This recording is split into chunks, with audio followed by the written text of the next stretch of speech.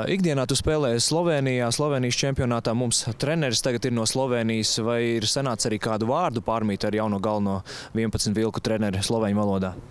Uh, Sloveņu valoda, nē, bet mēs runājam angliski. Jau parunāju ar viņu Slovenijā. Viņš bija vienā spēlē čempionātā. Apskatījis mūsu spēli Ljubljana. Nākamdienu parunāju ar viņu. Gan šeit arī parunāju. Tā kā nē, runājam visi angliski, gan treneris štābs, gan visi spēlētāji mak. Bet no rīta sveicinieties angliski, sloveņu valodā, latviešu valodā. Nu, vairāk angliski, jā. Kādi bijuši pirmie treniņi Slavišas vadībā? Nu, viņš tagad mēģina šīs divas dienas sakārtot taktiski jautājumi un uzlabot mūsu kļūdas. Gan, gan iepazīstināties ar, ar savu filozofiju, futbola filozofiju, ko viņš grib no mums, gan aizsardzībai, gan uzbrukuma. Un arī, kad mēs spēlējam bez bumbas, tas ir arī svarīgi.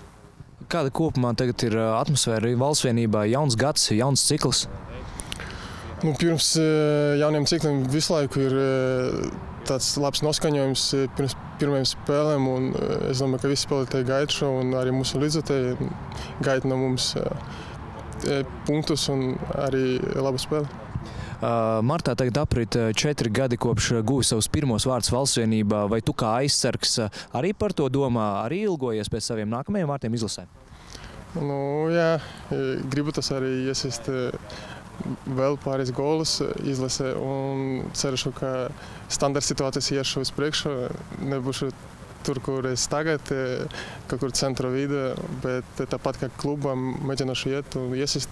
Man tagad arī sanāca jau kluba iesist un arī bija daži momenti tur. Tā kā gribu tas iesist un ceru, ka drīz.